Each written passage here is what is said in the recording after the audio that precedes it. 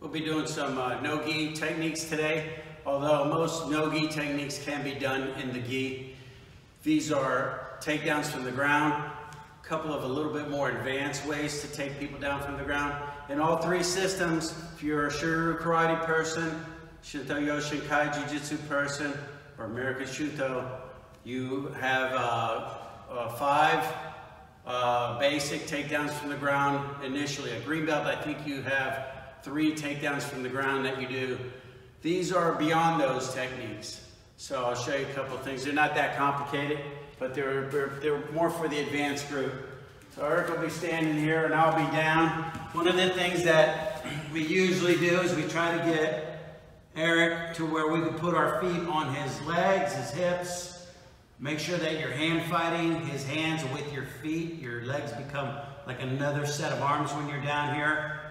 Um, this could be an MMA situation or a grappling situation, jiu-jitsu competition. When uh, I want to attack Eric, I need my legs usually to be at about 90 degrees. If he steps further back out, if he's a little too far out, I might have to scoot in to get him. But if I have him here at 90, whatever's happening, maybe if it's a striking situation I kick up, then I know I could, I could attack him with most of my takedowns from the ground. So for this takedown, I'm going to shoot my leg through and I'm going to go underhooking his leg here. When I do that, I'm going to come up this way, like I'm going to do a knee bar from down here, but instead I'm going to go to the far leg, push it away, and as I do, I'll cut this knee down to the ground. I'll shove this leg across under my opposite arm. This leg shoots down in triangles above the knee line. And then I reach back, pinch his toes with my tricep to my back, and lock his heel.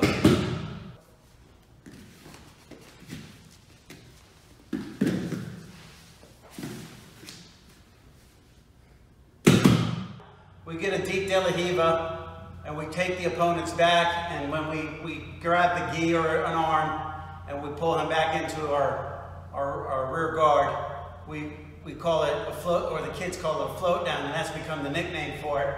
In this case, I can't grab a hold of anything. I don't get his arm. He pulls away from me or gets away, and I can't attach to the gi. So we'll show you how to take him down, and we'll finish it up in the same leg lock we just used previously. What I'm gonna do, again, 90 degrees. I'm in good position. My, my feet are on his legs, or, or hips, feet, wherever I wanna be. Sometimes I'm hooked inside. I'm gonna roll a kneecap out and use my heel to pull the other knee and buckle it inward. So I'll roll the kneecap outward as I buckle this one inward. Deep De La Riva. That brings the foot over here if I turn him real good. There's other options if it doesn't come this far. Now he sees that I couldn't get a hold of his arm. He tries to bail out and I use the hook to keep the other leg. He won't be there forever, so I gotta get that leg. And now I drive his knees forward as I pull on his legs backwards, and that gives me his back. I'm gonna release this leg to invite the bailout. He goes to bail out, and I keep this leg with two hands. It's very hard for him to get away. So just pull away a little bit there. Very hard. I actually can pull him right back. This leg will buckle the knee down as I shoot my leg, my opposite leg, my bottom leg, past the knee line. I'm gonna bend this foot up. So if he tries to get away now, try to get away, Eric, it's gonna be hard. His leg's like a big hook. If I, if I push on his toes, he won't be able to straighten the leg out. Straighten your leg out.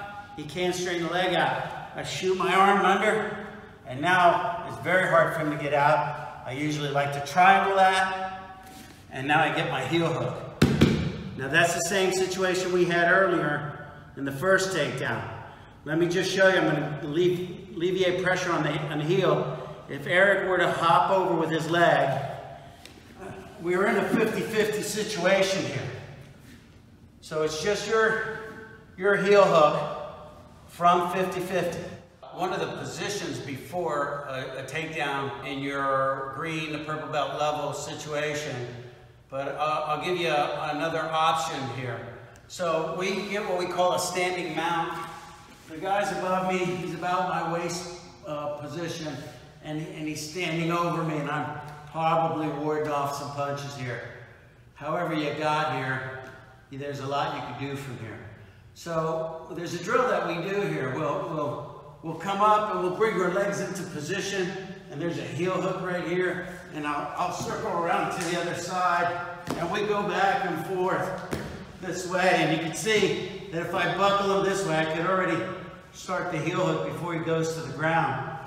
When you do this, a, a more savvy opponent is going to clear that leg and turn his knee out. So I'll get to position. Now sometimes we'll hook the back of the leg. Other times if his stance is wider or I can post my foot on his inside of his leg, I'll push the leg out as opposed to sweeping it. So I'll be in this post anticipating that he's going to clear this leg. So he clears this leg and he turns his knee out so I can't buckle it in again. Well, I just released this side and I'll turn him down this way. And here we are in our 50-50 position again.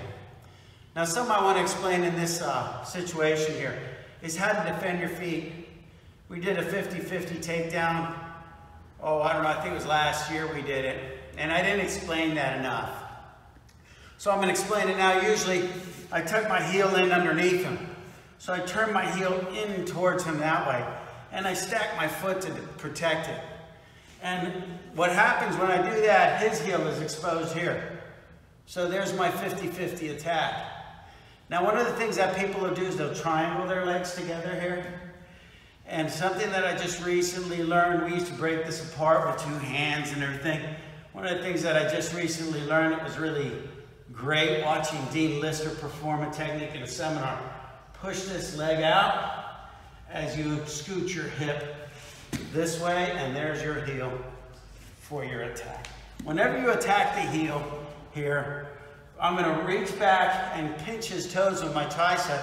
My wrist ends up right where his heel is. And it's very hard for him to escape. I, I won't even join my hands here because I can, I can feel the pressure on Eric's leg already here.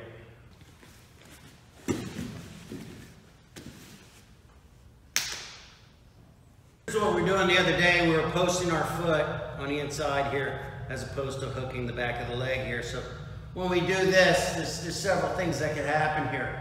But as he goes to control my foot, it'll be different. I could go right to my 50-50. I'll kick my leg out, bring it around. Here's my 50-50, and I'm in my attack position, my attack situation here. My feet are guarded here. I got my heel in, got my other foot on top.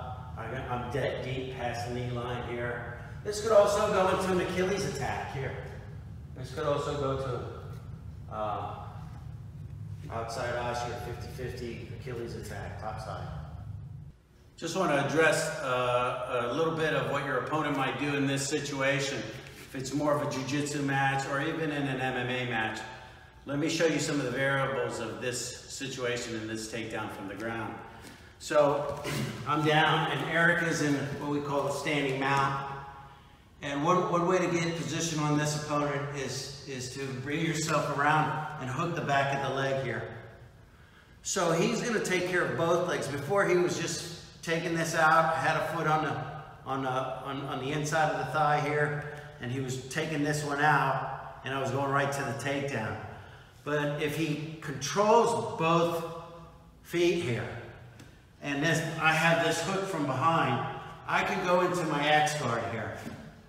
My X guard, I get his hands to the mat, I switch to my reverse X, elevate him, drop his leg in, and now I have him in 411.